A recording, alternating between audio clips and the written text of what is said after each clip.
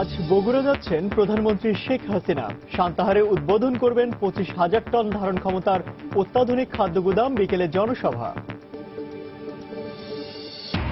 Police report পেতে দেরি হওয়ায় নির্দিষ্ট সময়ে সরবরাহ করা যাচ্ছে না পাসপোর্ট, দুর্ভোগে বিদেশ গমনিচ্ছুরা। জরুরি ক্ষেত্রে পুলিশ রিপোর্টের প্রয়োজন নেই, জানিয়েছে কর্তৃপক্ষ।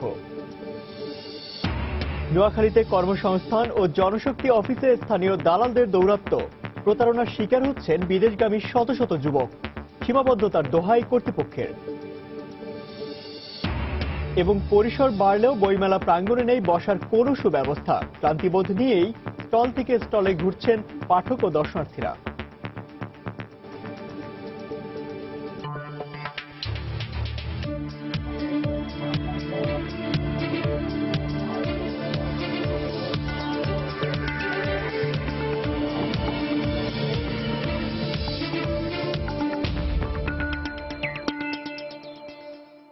দেখছিলেন শিরোনাম, আমন্ত্রণ জানাচ্ছি দেশ ও দেশে বাইরে অর্থ বাণিজ্যের নানা খবর নিয়ে আমাদের নিয়মিত আয়োজন সময় বাণিজ্যে। আপনাদের সঙ্গে আছি আমি ইমতিয়াজ আহমেদ। আজ বগুড়া যাচ্ছেন প্রধানমন্ত্রী শেখ হাসিনা। বেশ কয়েকটি উন্নয়ন প্রকল্পের উদ্বোধন ছাড়াও বক্তব্য রাখবেন জনসভায়। দুপুরে বগুড়ার সান্তাহারে পঁচিশ হাজার টন ধারণ ক্ষমতা সম্পন্ন আর্দ্রতা নিয়ন্ত্রক অত্যাধুনিক খাদ্য গুদামের উদ্বোধন করবেন প্রধানমন্ত্রী। পরে বিকেলে সান্তাহারে বগুড়া জেলা আওয়ামী লীগ আয়োজিত জনসভায় বক্তব্য রাখবেন তিনি। এছাড়া বগুড়ার নন্দীগ্রাম উপজেলা কমপ্লেক্স, শাহজাহানপুর থানা ভবন সহ আটটি প্রতিষ্ঠানের উদ্বোধন এবং ভিত্তিপ্রস্তর স্থাপন করার কথা রয়েছে প্রধানমন্ত্রী শেখ হাসিনার।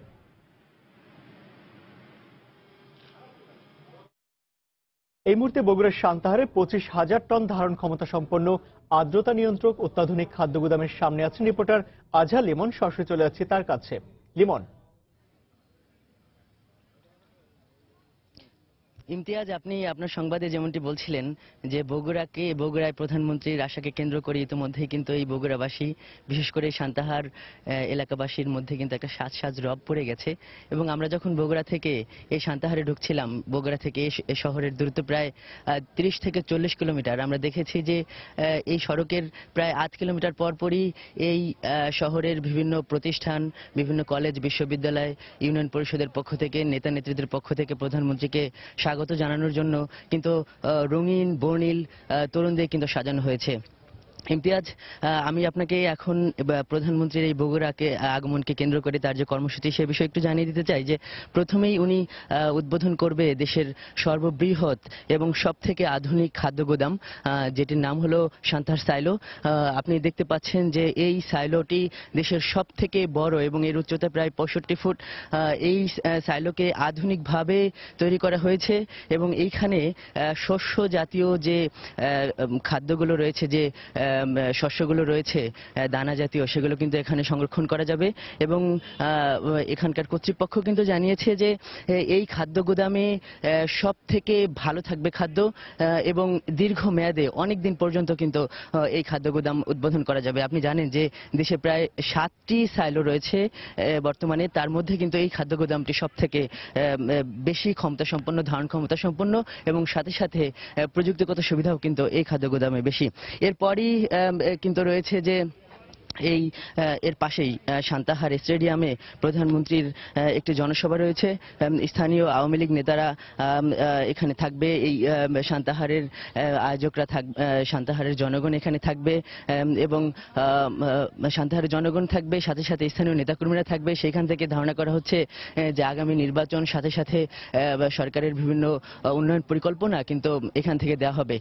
আবার এই সাইলোর ব্যাপারে আসতে চাই যে সরকারের সরকারের একটি এসডিজির মধ্যে বিশেষ করে খাদ্য ও পুষ্টি নিরাপত্তা নিশ্চিত করার জন্য আপনি জানেন যে গেল বছর থেকেই সরকার চিন্তা করেছে যে দু হাজার বিশ সালের মধ্যে তিরিশ লক্ষ মেট্রিক টন খাদ্য সংরক্ষণের একটি পরিকল্পনা সরকার নিয়েছে এবং ধারণা করা হচ্ছে যে এই বগুড়ার এই সাইলো, সান্তাহারের এই সাইলো সেই পরিকল্পনা বাস্তবায়নের ক্ষেত্রে অনেক বড় ভূমিকা রাখবে। ইমতিয়াজ সান্তাহারের সাইলো থেকে এই ছিল আমার কাছে সর্বশেষ। দর্শক, আর কিছুক্ষণ পরে বগুড়ার সান্তাহারে যাবেন প্রধানমন্ত্রী শেখ হাসিনা। সেখানে পঁচিশ হাজার টন ধারণ ক্ষমতা সম্পন্ন আর্দ্রতা নিয়ন্ত্রক অত্যাধুনিক খাদ্য গুদামের উদ্বোধন করার কথা রয়েছে। সেখান থেকে আমাদের সঙ্গে যোগ দিয়েছেন সহকর্মী আজহার লিমন। চলে যাচ্ছি পরের খবরে। অভ্যন্তরীণ বিভিন্ন প্রক্রিয়ার উন্নতি হলেও পুলিশ রিপোর্ট পেতে দেরি হওয়ার কারণে নির্দিষ্ট সময় তা সরবরাহ করতে পারছে না পাসপোর্ট অফিস। প্রয়োজনের সময় পাসপোর্ট না পেয়ে দুর্ভোগে পড়তে হচ্ছে বলছেন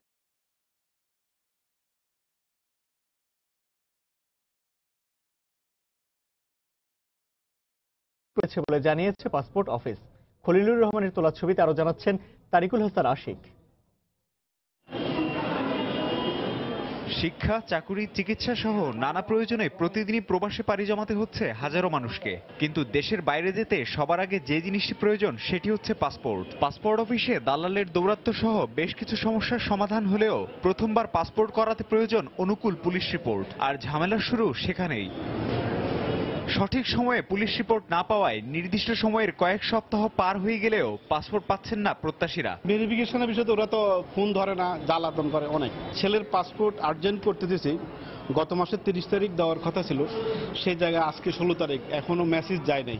ডিউ ডেট ছিল thirteen February but thirteen February তারা কমপ্লিট করতে পারেনি। টাইমটা অনেক লেট হয়েছে। আমার দুই তারিখ দেওয়ার কথা ছিল আমার প্রায় দশ বারো দিন পরে। ভেরিফিকেশনের নামে দায় সারা তদন্ত করে কিছু অসাধু পুলিশ কর্মকর্তা আর্থিক ফায়দা নিচ্ছেন বলে মত অপরাধ বিশ্লেষকদের। কিছু টাকা পয়সা দিলে পুলিশ কর্মকর্তারা দেখা যায় যে পুলিশ ভেরিফিকেশনের যে প্রয়োজনীয় বিষয়গুলো তারা এমনি করে দেন এবং সেটাকে যে পরিমাণ ভেরিফাই কিংবা যাচাই বাছাই করা দরকার সেটা তারা করেন না। নির্দিষ্ট সময় পার হয়ে গেলে জরুরি ক্ষেত্রে ভেরিফিকেশন বা পুলিশ রিপোর্ট প্রাপ্তি ছাড়াও পাসপোর্ট সরবরাহ করার সুযোগ রয়েছে বলে জানান বহিরাগমন ও পাসপোর্ট বিভাগের মহাপরিচালক। তারা ওখান থেকে ডাইরেক্ট যদি দিয়ে দেয়, আমি কিন্তু সঙ্গে সঙ্গে রিপোর্ট পেয়ে যাই। সেটা অনেক জায়গার থেকে করে না। ওদেরও ম্যান পাওয়ার শর্টেজ আছে, অনেক টাকা দিয়েছেন, আমি দুই মাসেও পাসপোর্ট দিচ্ছি না, অর্থাৎ পুলিশ বিষয়ে আসছে না বলে আমি আর পাসপোর্ট দিচ্ছি না। তো সেই ক্ষেত্রে কিন্তু একটা সরকার আরেকটা নিয়ম করেছে টিএলও বলে টাইম লিমিট ওভার অর্থাৎ টাইম লিমিট ওভার হয়ে গেলে আমি অনেক সময় পাসপোর্ট দিতে পারি। সেটা একটা ক্ষমতা দেওয়া আছে। শুধু পাসপোর্টই নয়, ড্রাইভিং লাইসেন্স সহ বিভিন্ন চাকুরির ক্ষেত্রে ভেরিফিকেশন বা যাচাই বাছাইয়ের মতো গুরুত্বপূর্ণ বিষয়ে আইন শৃঙ্খলা বাহিনীর দায়সারা ভাব মোটেই গ্রহণযোগ্য নয় বলে মনে করছেন বিশ্লেষকরা। তারিকুল হাসান আশিক, সময় সংবাদ, ঢাকা। নোয়াখালী জেলা কর্মসংস্থান ও জনশক্তি অফিসে স্থানীয় দালালদের দৌরাত্মে প্রতারণার শিকার হচ্ছেন বিদেশগামী যুবকরা। প্রতিবাদ করলেই ঘটছে মারধরের মতো ঘটনা। অফিস সহকারীরা দালালদের উৎপাতের কথা স্বীকার করলেও নিজেদের সীমাবদ্ধতা এবং প্রযুক্তির অপর্যাপ্তকে দায়ী করছেন জেলার জনশক্তি কর্মসংস্থান ও প্রশিক্ষণ ব্যুরোর সহকারী পরিচালক।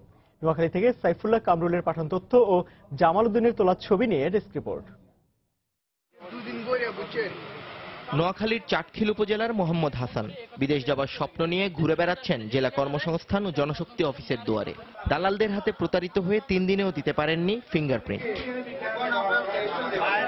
একই অবস্থা? জেলার দ্বীপ উপজেলা হাতিয়া সহ নয় উপজেলা থেকে আসা শত শত যুবকের। দিনে দিনে যে কাজ করা সম্ভব দালালদের খপ্পরে পড়ে দুই তিন দিনেও পাচ্ছেন না তার দেখা। অফিস সহকারীদের যোগসাজশেই দালালরা এভাবে প্রতারিত করছেন বলে অভিযোগ তাদের। আমাদের চব্বিশ উনত্রিশ সিরিয়াল আমাদের সিরিয়াল হইতেছে না বাকিগুলো হইতেছে পঁচিশশো সিরিয়াল হইতেছে টাকা দিয়ে হইতেছে। টাকা ছাড়া তো এখানে আমরা ঢুকতে পারি না।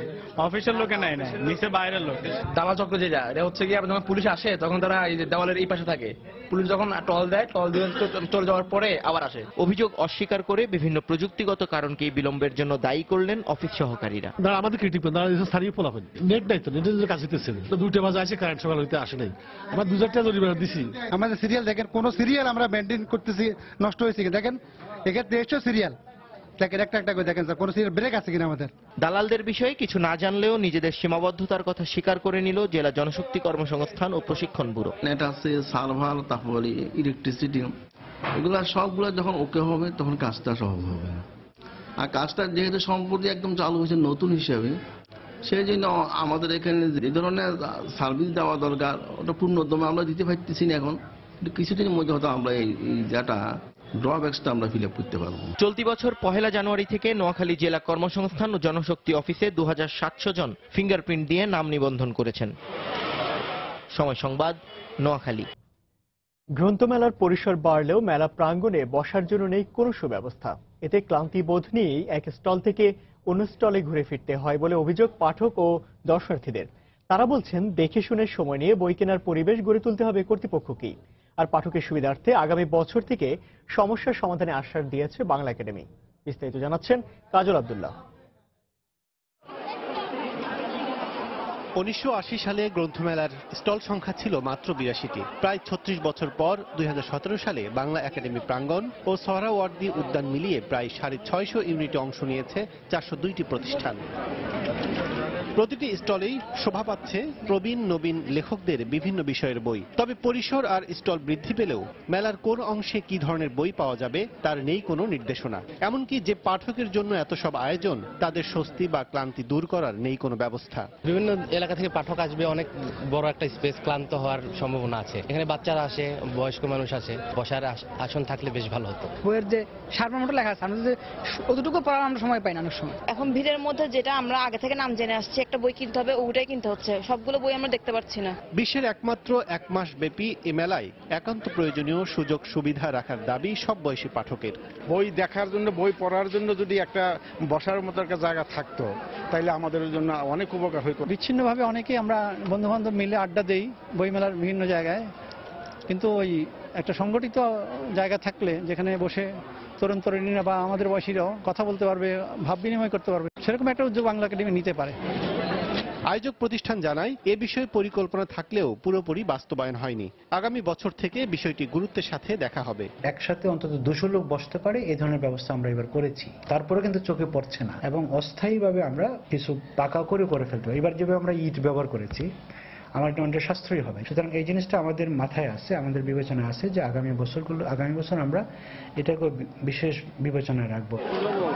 পাঠকের সুবিধার্থে সহরাওয়ার্দী উদ্যান কর্তৃপক্ষের সাথে আলোচনা সাপেক্ষে প্রান্তিক জায়গাগুলোতেও স্থায়ীভাবে বসার জায়গা তৈরির উদ্যোগ নেওয়া হবে বলেও জানায় বাংলা একাডেমি। কাজল আবদুল্লাহ, সময় সংবাদ, ঢাকা। বিনিয়োগ সুরক্ষা সহ সার্বিকভাবে ব্যবসা বান্ধব পরিবেশ নিশ্চিত করতে পদক্ষেপ নেওয়া হচ্ছে বলে জানিয়েছেন বাণিজ্য মন্ত্রী তোফায়েল আহমেদ। গতকাল ঢাকা অ্যাপারেল সামিট দু হাজার সতেরো আলোচনা সভায় কথা বলেন তিনি। সামিটে অংশ নিয়ে কারখানাগুলোতে ট্রেড ইউনিয়ন করার চেয়ে শ্রমিক অধিকার নিশ্চিতে যুক্তরাষ্ট্র বেশি গুরুত্ব দিচ্ছে বলে জানান মার্কিন রাষ্ট্রদূত মার্শিয়া ব্লুম বার্নিকাট বাংলাদেশের তৈরি পোশাক শিল্পের উন্নয়ন অগ্রগতি আর সম্ভাবনার চিত্র তুলে ধরতেই একদিনের এই ঢাকা অ্যাপারেল সামিট। তৈরি পোশাক সহ শিল্প খাতের উন্নয়নে মতামত তুলে ধরেন দেশি বিদেশি উদ্যোক্তা ও বিশেষজ্ঞরা যেখানে ব্যবসার স্বার্থে দীর্ঘমেয়াদী জ্বালানি নীতির উপর জোর দেন শিল্পোদ্যোক্তারা। খুব অল্প সময়ের ব্যবধানে গ্যাস ও বিদ্যুতের দাম বারবার বাড়ানো হলে ব্যবসায়িকভাবে চ্যালেঞ্জ মোকাবেলা করা খুব কঠিন হয়ে পড়ে। এছাড়া লাভজনক ব্যবসার জন্য গ্যাস সঞ্চালন লাইন ও চাপ বাড়ানোর দরকার। বেসরকারি খাতকে উৎসাহ দেওয়ার অনেক নীতি কৌশল নিয়ে কাজ করতে হবে। তবে সবচেয়ে বেশি গুরুত্ব দিতে হবে নিরবিচ্ছিন্ন জ্বালানি সরবরাহের দীর্ঘমেয়াদী পরিকল্পনা বাস্তবায়নের উপর। এ সময় লাভজনক ব্যবসা পরিচালনার জন্য সব ধরনের পদক্ষেপ নেয়ার কথা জানান বাণিজ্য মন্ত্রী। আর শ্রমিক অধিকার সুরক্ষা নিশ্চিতে অন্যান্য দেশের তুলনায় বাংলাদেশ এগিয়ে রয়েছে বলে দাবি করেন তিনি।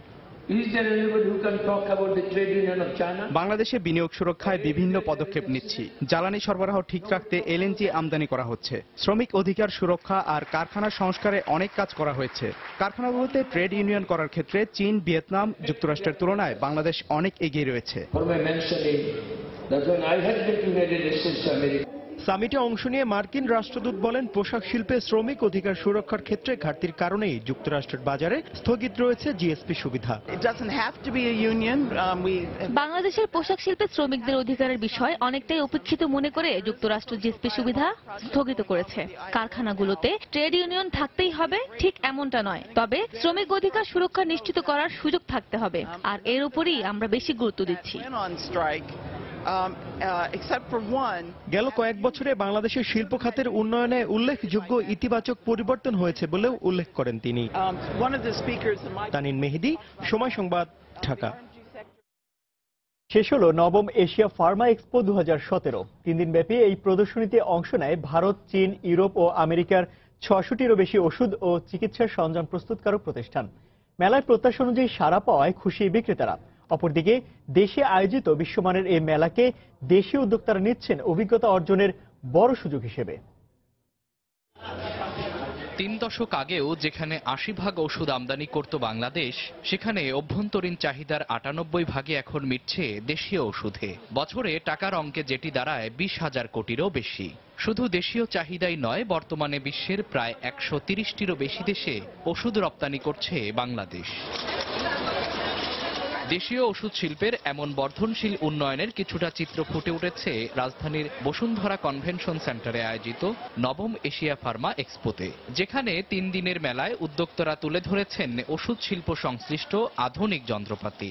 আমার এই মেশিন অন্য ইউরোপিয়ান বা অন্য অন্য মেশিনের তুলনায় কোনো অংশে প্রোডাকশন ক্যাপাবিলিটি কম না। বাংলাদেশে আমরা এক নাম্বার সাপ্লাই সরবরাহকারী করি বিশ্ব ব্যাংকের জন্য। আমরা দুইশোর বেশি মেশিন বাংলাদেশ আছে। সিক্স হান্ড্রেড এইটটি পার্টিসিপেন্ট এখানে এই এক্সিবিশনে অ্যাটেন্ড করছে। এটা সম্ভাবনাময় মার্কেট এবং আট সতেরো কোটি লোকের ডোমেস্টিক মার্কেট প্লাস ইন্টারন্যাশনাল মার্কেটও আমাদের ডেভেলপ করতেছে। আধুনিক পণ্যের সাথে নিজেদের মানিয়ে নিতে এবং নিজেদের প্রতিষ্ঠানের জন্য পছন্দের পণ্যটি কিনতে মেলা প্রাঙ্গণে সড়ক পদচারণা দেখা যায় সংশ্লিষ্টদের। এটা দেখতে আমরা একসময় বোম্বে গেছি এখন আমাদের এখানে প্রতি দুই বছর অন্তর হয় এটা আমাদের ইন্ডাস্ট্রির জন্য খুব ভালো। এখানে এসে আমার অভিজ্ঞতা এটা হয়েছে মেশিন নতুন অনেক কিছু পাওয়া গেছে। এখানে এসে মূলত অনেক দেশের ক্লায়েন্ট সম্পর্কে জানতে পারলাম, দেখতে পারলাম। সেটা আমার মোটামুটি ভালো, আমাদের কাজের জন্য অনেক হেল্পফুল হবে। ব্যবসায়ীরাও জানালেন এবারের মেলায় সাড়া পেয়েছেন প্রত্যাশা অনুযায়ী। ওভারঅল তিন দিনে খুব ভালো সারা পেয়েছি আমরা। ইটস ফুলফিলিং আওয়ার এক্সপেকটেশন আমরা তো স্পেশালি সেলের জন্য লোকজনকে জানানোর জন্য যে আমরা এই এই প্রোডাক্টগুলো করি। ভিজিট ভালোই পাচ্ছি। ভিজিটর ইনশাল্লাহ ভালো রেসপন্স ক্যান্সারের মতো রোগের কিছু ওষুধ ছাড়া অন্য কোনো ওষুধ এখন আর আমদানি করে না বাংলাদেশ। বর্তমানে অনুন্নত আটচল্লিশটি দেশের মধ্যে ওষুধ উৎপাদনে শীর্ষে বাংলাদেশ। যেখানে দেশে দুইশো সাতান্নটি কোম্পানির ওষুধ রয়েছে, চব্বিশ হাজার ব্র্যান্ডের। মামুন আবদুল্লাহ, সময় সংবাদ, ঢাকা। দেশের সব মানুষকে সাশ্রয় মূল্যে বিদ্যুৎ সরবরাহ করাটাই সরকারের সামনে এখন সবচেয়ে বড় চ্যালেঞ্জ। আর তা মোকাবেলায় সৌর বিদ্যুৎকে জনপ্রিয় করার চেষ্টা চলছে বলে জানিয়েছেন বিদ্যুৎ, জ্বালানি ও খনিজ সম্পদ প্রতিমন্ত্রী নসরুল হামিদ। গতকাল রাজধানী শিশু একাডেমিতে ঢাকা বিভাগীয় কমিশনার কার্যালয়ের উদ্যোগে আয়োজিত ডিজিটাল উদ্ভাবনী মেলার উদ্বোধনী অনুষ্ঠানে এসব কথা বলেন তিনি। প্রতিমন্ত্রী বলেন, দেশের দক্ষিণাঞ্চলের দ্বীপগুলোতে নিরবিচ্ছিন্ন বিদ্যুৎ বিতরণের জন্য মাস্টার প্ল্যান করছে সরকার। ঢাকা বিভাগীয় কমিশনার হেলাল উদ্দিন আহমেদের সভাপতিত্বে অনুষ্ঠানে দেশের বেশ কয়েকটি জেলার প্রশাসকদের পাশাপাশি অংশ নেয় বিভিন্ন স্কুলের শিক্ষার্থীরা। আমাদের বড় চ্যালেঞ্জ হয়ে গেছে। আমাদের যে দক্ষিণাঞ্চলের দ্বীপগুলো আছে, যেখানে আমরা এখনও বিদ্যুৎ পৌঁছাতে পারিনি, আমরা সেই দিকে একটা জায়গায় যাচ্ছি, যেখানে সারা বাংলাদেশের প্রতিটি ঘরে, প্রতিটি জায়গায় আমরা বিদ্যুৎ পৌঁছাতে পারি। একটি সোলার প্যানেল দিয়ে বাড়িতে যে বিদ্যুৎ উৎপন্ন করে, তার কস্ট পরে প্রায় তিরিশ টাকা। ওখান থেকে আমাদের সাশ্রয় মূল্যে কীভাবে তাদেরকে বিদ্যুৎ পৌঁছানো যায়, এটা আগামী দিনে একটা বড় সড়ক দুর্ঘটনায় চলচ্চিত্রকার তারেক মাসুদ ও সাংবাদিক মিশুক মুনি সহ পাঁচজন নিহতের ঘটনায় মামলার রায়ে বাস চালক জামির হোসেনকে যাবজ্জীবন কারাদণ্ড দেওয়ার প্রতিবাদে খুলনা বিভাগে অনির্দিষ্টকালের ধর্মঘট চলছে। গতকাল বাংলাদেশ সড়ক পরিবহন শ্রমিক ফেডারেশন আঞ্চলিক কমিটি এ ধর্মঘটের ডাক দেয়। ধর্মঘটের কারণে সকালে খুলনা শহরের সোনাডাঙ্গা বাস টার্মিনাল থেকে অভ্যন্তরীণ ও দূরপাল্লার কোনো বাস ছেড়ে যায়নি। এতে চরম দুর্ভোগে পড়েছেন দূর দূরান্তের যাত্রীরা। বিকল্প উপায়ে নির্দিষ্ট গন্তব্যে পৌঁছাতে বাড়তি ভাড়া গুনছেন কেউ কেউ। একই চিত্র যশোরেও বন্ধ রয়েছে অভ্যন্তরীণ ও দূরপাল্লার বাস চলাচল। এছাড়া ধর্মঘটের সমর্থনে ভোর থেকেই শহরের সাতটি পয়েন্টে অবস্থান নিয়ে সব ধরনের যান চলাচলে বাধা সৃষ্টি করছেন শ্রমিকরা। বাস স্ট্যান্ড এসে বাস না পেয়ে ফিরে যাচ্ছেন যাত্রীরা। এছাড়া ঝিনাইদহ, চুয়াডাঙ্গা ও মেহেরপুর সহ খুলনা বিভাগের অন্য পাঁচটি জেলায়ও বাংলাদেশ সড়ক পরিবহন শ্রমিক ফেডারেশনের আঞ্চলিক কমিটির ডাকে অনির্দিষ্টকালের পরিবহন ধর্মঘট চলায় চরম বিপাকে পড়েছেন যাত্রীরা। বাসা থেকে আসছি আইসা স্ট্যান্ডে বাগেরহাট যাওয়ার জন্য বাস খুঁজতেছি শুনতেছি যে আজকে ধর্মঘট চলতেছে। মেয়ে স্কুলে যাবে আমি জানতাম না ধর্মঘাট এখানে এসে দেখছি এখন ধর্মঘাট এখন কীভাবে যাব? আমার গোপালগঞ্জে যাওয়া খুব প্রয়োজন আর কি এই জন্য আমি বাইক দিয়ে যাচ্ছি। আমার মায়ের হাসপাতালে ভর্তি করব উপায় নেই এখন এই চারশো টাকা ভাড়া দিয়ে আমাকে যাইতে হবে। কোনো গাড়ি ঘোড়া পাচ্ছি না। এখন বাড়ি ফিরে যাওয়া লাগবে তাই ছাড়া আর কোনো লাইন দেখতেছি না। ইজি বাইক ওই তো বন্ধ। বিআরটি অফিসে আসছিলাম আমার মোটর সাইকেলের লাইসেন্সের জন্য এসে এখন রাত্রির মেয়ের বাড়ি ছিলাম, এখন বাড়ি যাব, এখন গাড়ি বন্ধ। সড়ক পরিবহন শ্রমিক ফেডারেশনের ডাকে খুলনা বিভাগে অনির্দিষ্টকালে পরিবহন ধর্মঘট চলছে। এই মুহূর্তে নগরীর সোনাডাঙ্গা বাস টার্মিনালে আছেন রিপোর্টার তরিকুল ইসলাম, সরাসরি চলে যাচ্ছে তার কাছে। তরিকুল। ইমতিয়াজ বাস চালক জামির হোসেনের যাবজ্জীবন কারাদণ্ডাদেশের প্রতিবাদ জানিয়ে গতকাল থেকে, গতকাল যে ঘোষণা বাংলাদেশ শ্রমিক ফেডারেশনের ডাকে যে ধর্মঘট খুলনা বিভাগের দশ জেলায় খুলনায় ভোর থেকে শুরু হয়েছে। এবং আমরা ভোরবেলা যেটি দেখেছি যে ছয়টা থেকে এখানে সোনাগা খুলনা সোনাগা যে বাস টার্মিনাল, সে বাস টার্মিনাল থেকে কিন্তু কোনো বাস দূরপাল্লার এবং আভ্যন্তরীণ রুটের কোনো বাস কিন্তু এখান থেকে ছেড়ে যায়নি। অর্থাৎ খুলনার থেকে দশটা জেলাতে যে আভ্যন্তরীণ রুটে যে যাতায়াত করে যে পরিবহনগুলো সেগুলো কিন্তু বন্ধ রয়েছে। তো আমরা দেখেছিলাম যে ভোরবেলা থেকে কিন্তু মানুষ তাদের দূর দূরান্তে যাওয়ার জন্য সোনাডাঙ্গা বাস টার্মিনালে আসতে শুরু করে। তো সেখানে, এখানে এসে কিন্তু মানুষ সবচেয়ে বেশি হতাশায় পড়েছে যখন অনেকে না জেনে যারা এসেছেন, তারা কিন্তু হতাশায় পড়েছেন যে এখানে পরিবহন ধর্মঘট চলছে। তো বিকল্প উপায়ে কিন্তু আমরা দেখেছি, মাইক অনেকে মোটরসাইকেল ইজি বাইক অথবা মহেন্দ্র যোগে তারা তাদের গন্তব্যে পৌঁছানোর চেষ্টা করছে। এবং এই সুযোগে কিন্তু এক শ্রেণির মানুষ কিন্তু তারা ভাড়াও অতিরিক্ত আদায় করছে। তবে হয়রানির যে বিষয়টি, সেটি হচ্ছে যে মানুষ, সাধারণ মানুষ কিন্তু এই ধর্মঘটে কিন্তু সব চরম দুর্ভোগের মধ্যে পড়ে রয়েছে। অর্থাৎ অনেকে অসুস্থ অবস্থায় আমরা দেখেছি যে তারা ঢাকা বা অন্যান্য জায়গায় যাওয়ার জন্য যারা এসেছিলেন, তারা কিন্তু তাদের গন্তব্যে পৌঁছাতে পারেননি। এবং এবং এখান থেকে কিন্তু অনেকে যারা চাকরি করে খুলনা থেকে আশেপাশের জেলাগুলোতে, যারা প্রতিদিন যাতায়াত করে, তারাও কিন্তু দুর্ভোগে পড়েছেন। তো আমরা যেটি দেখেছিলাম যে সকালবেলা এখানে শ্রমিকরা এখানে জড়ো হয়েছিলেন এবং তারা এখানে একটি সমবেত হয়ে তারা চেষ্টা করেছিলেন সকাল থেকে যে এখানে কীভাবে যান চলাচল বন্ধ রাখা যায়। তারপরেও কিন্তু আমরা দেখেছি যে ইজি বাইক বা অন্যান্য ছোট ছোট যানগুলো কিন্তু চলাচল করছে। তবে ধর্মঘটের ব্যাপারে তারা যেটি বলছে যে, চালক জামির হোসেনের ব্যাপারে কোনো সিদ্ধান্ত যদি না আসে, তাহলে এই ধর্মঘটটি অব্যাহত থাকবে।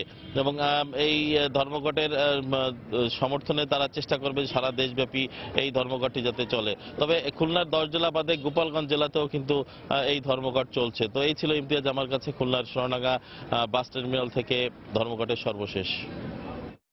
দর্শক, সড়ক পরিবহন শ্রমিক ফেডারেশনের ডাকে খুলনা বিভাগে অনির্দিষ্টকালের পরিবহন ধর্মঘটের খবরাখবর জানাতে নগরীর সোনাডাঙ্গা বাস টার্মিনাল থেকে আমাদের সঙ্গে যোগ দিয়েছিলেন সহকর্মী তরিকুল ইসলাম। চলে যাচ্ছি পরের খবরে। জমি হস্তান্তরের দলিল রেজিস্ট্রেশনের ভোগান্তি কমাতে চালু হয়েছে মোবাইল অ্যাপ। ভূমি ও রেজিস্ট্রি সেবা নামের এই অ্যাপটির মাধ্যমে রেজিস্ট্রি সংক্রান্ত সব তথ্য এখন ঘরে বসে জানতে পারছেন সবাই। ফলে বদলাতে শুরু করেছে আগের চালচিত্র। এই অ্যাপটির মাধ্যমে অ্যাপটি বানিয়েছেন কুড়িগ্রামের ভুরুঙ্গিমারি উপজেলার সাব রেজিস্ট্রার মোহাম্মদ শাহজাহান আলী। মইনুল ইসলাম মঞ্জুর তথ্য, বেলাল হোসেনের তোলা ছবি নিয়ে ডেস্ক রিপোর্ট।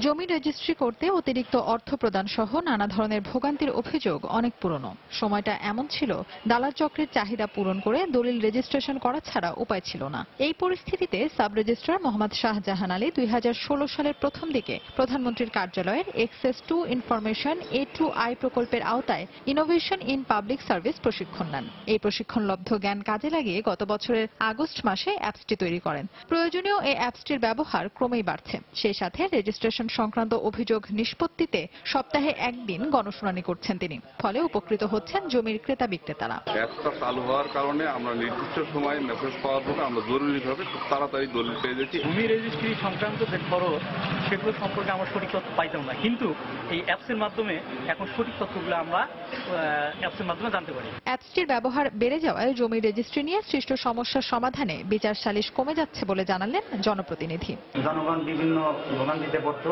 সেটা করতেছে না এবং সালিশ বিচারও কমে গেছে। অ্যাপসটি মানুষের উপকারে আসছে এবং জমি সংক্রান্ত জটিলতা কমছে বলে জানালেন উপজেলা প্রশাসনের শীর্ষ কর্মকর্তা। জনগণ যদি এটা ব্যবহার করতে জানে তাহলে জনগণের আরও যে সমস্যাগুলো আছে জমি সংক্রান্ত এগুলো বহুলাংশে কমবে অ্যাপসটির মাধ্যমে রেজিস্ট্রেশন আইন দলিলের ছক রেজিস্ট্রেশন পদ্ধতি রেজিস্ট্রেশন ফিস নামজারি সম্পত্তির উত্তরাধিকার এবং সম্পত্তি হস্তান্তর সহ সংশ্লিষ্ট সবকিছু জানা যাচ্ছে। সময় সংবাদ কুড়িগ্রাম। দেশি বীজ থেকে ভালো ফলন পাওয়ায় পাবনায় পাটের বীজ উৎপাদনে দিন দিনে আগ্রহ বাড়ছে কৃষকদের। নিজেদের চাহিদা মিটিয়ে চাহিদা মিটিয়ে পাট বীজ বিক্রি করে লাভবান হচ্ছেন অনেক চাষি। নিজেদের উৎপাদিত নাবি জাতের বীজ বপন করে এবার বাম্পার ফলন পেয়েছে পাবনার পাট চাষিরা। এবছর জেলায় অন্তত দুশো দশটি প্রদর্শনী প্লটে নাবি পাট বীজের উৎপাদন হয়েছে। কৃষি কর্মকর্তারা জানিয়েছেন, নাবি জাতের পাট বীজের বাণিজ্যিক উৎপাদন শুরু হলে একদিকে যেমন পাট বীজের বিদেশ থেকে আমদানি নির্ভরতা কমবে, অন্যদিকে পাট বীজ রপ্তানি করে লাভবান হবেন কৃষকরা।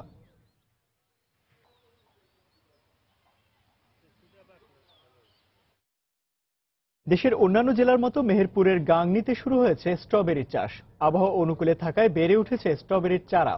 পোকামাকড় ও রোগবালাই থেকে রক্ষা পেতে প্রয়োজনীয় পরিচর্যায় ব্যস্ত সময় পার করছেন চাষিরা। সবুজ পাতার আড়ালে শোভা পাচ্ছে লাল রঙের স্ট্রবেরি। কৃষি বিভাগ জানায় দু হাজার পনেরো সালে রাজশাহী থেকে দশ হাজার চারা নিয়ে স্থানীয় এক কৃষক মেহেরপুরে স্ট্রবেরি চাষ শুরু করেন। বর্তমানে দুই বিঘা জমিতে স্ট্রবেরি চাষ করছেন তিনি। দেশে বাইরে অর্থ বাণিজ্যের খবর।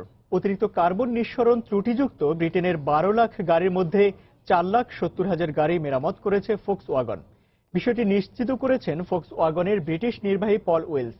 ফোক্স ওয়াগন কর্তৃপক্ষ জানায়, সপ্তাহে বিশ হাজার করে গাড়ির যান্ত্রিক ত্রুটি সারিয়ে তোলা হয়েছে। তবে ব্রিটিশ ফোক্স ওয়াগন গাড়ির মালিকদের অভিযোগ, যুক্তরাষ্ট্র ও ইউরোপের গ্রাহকদের মতো তাদের কোনো ক্ষতিপূরণ দেওয়া হয়নি। কার্বন নিঃসরণ কেলেঙ্কারিতে পড়ে দু সাল থেকে এখন পর্যন্ত বিশ্বের বিভিন্ন দেশ থেকে লাখ লাখ গাড়ি সরিয়ে নেয় জার্মান গাড়ি নির্মাতা প্রতিষ্ঠান ফোক্সওয়াগন কোটিপতিদের জন্য যুক্তরাষ্ট্র আর ব্রিটেনকে পেছনে ফেলে বিশ্বের সবচেয়ে আকর্ষণীয় দেশ অস্ট্রেলিয়া। গবেষণা প্রতিষ্ঠান নিউ ওয়ার্ল্ড ওয়েলথের গবেষণায় উঠে এসেছে এমনই তথ্য। গবেষণা বলছে দু হাজার ষোলো সালের শেষ নাগাদ অস্ট্রেলিয়ায় কোটিপতির সংখ্যা এক কোটি তিরিশ লাখ, যাদের মোট সম্পত্তির পরিমাণ উনসত্তর ট্রিলিয়ন ডলার। এছাড়া গেল বছর অভিবাসী হয়েছেন অন্তত বিরাশি হাজার কোটিপতি। এর মধ্যে এগারো হাজার কোটিপতি গন্তব্য হিসেবে বেছে নিয়েছেন অস্ট্রেলিয়াকে। যুক্তরাষ্ট্রে গেছেন দশ হাজার আর কানাডায় গেছেন আট হাজার কোটিপতি। কোটিপতিদের পছন্দের তালিকায় রয়েছে হংকং, সিঙ্গাপুর, কোরিয়া ও ভিয়েতনামও.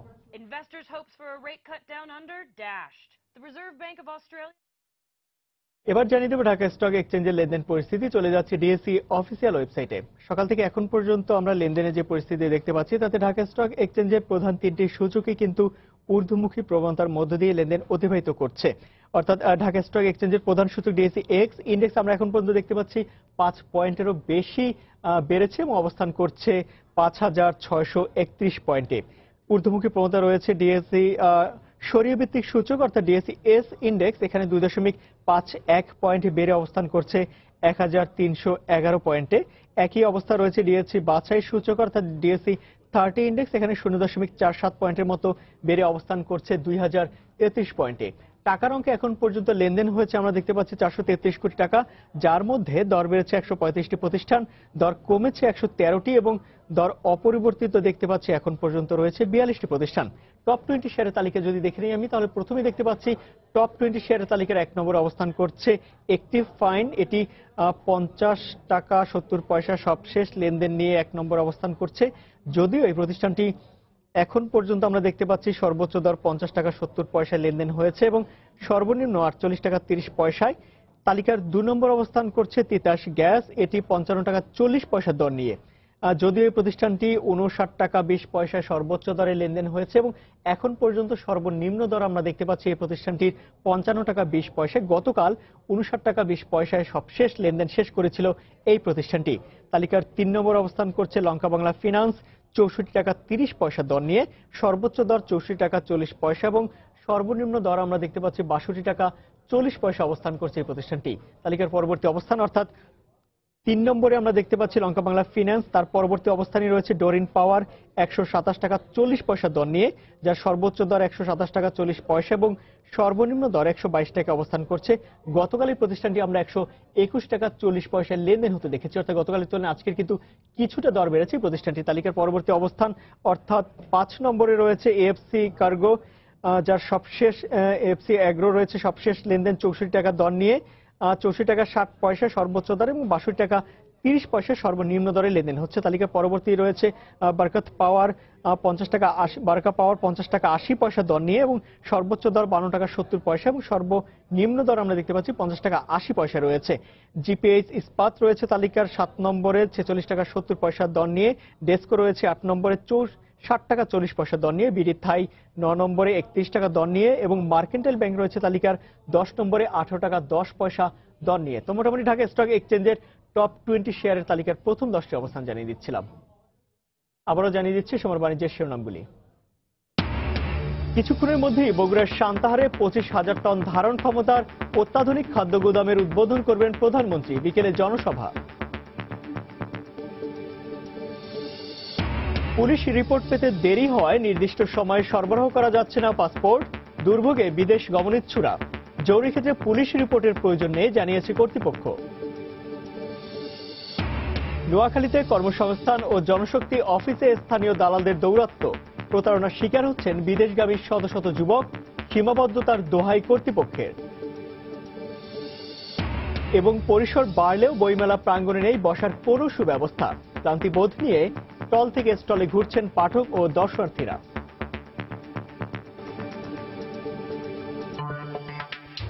এই ছিল সময় বাণিজ্যে। যে কোনো খবর পেতে ভিজিট করুন সময় নিউজ ডট টিভি আর সঙ্গে থাকুন সময়।